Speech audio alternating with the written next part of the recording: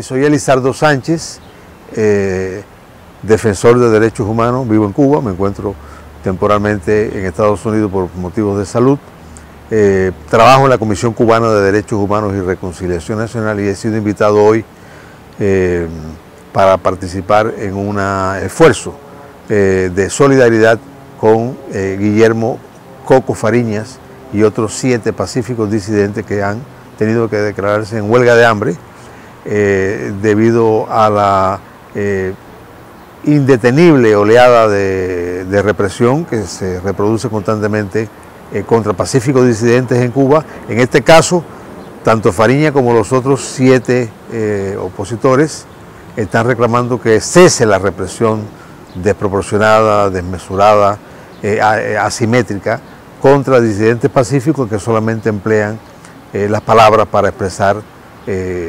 sus demandas. Ellos incluyen el cese de las incautaciones ilegales, de los allanamientos extrajudiciales de moradas y de eh, acciones vejatorias, así como agresiones físicas, como la que acaba de sufrir Guillermo Fariña, que fue eh, realmente el disparador de su decisión eh, tremenda de declararse en huelga de hambre, lo cual es muy peligroso porque Fariña y los demás por igual son muy valientes, pero Guillermo Fariña en particular, cuando decide declararse en huelga de hambre, pues siempre está dispuesto a llevarlo hasta el final y esto es muy preocupante para todos nosotros.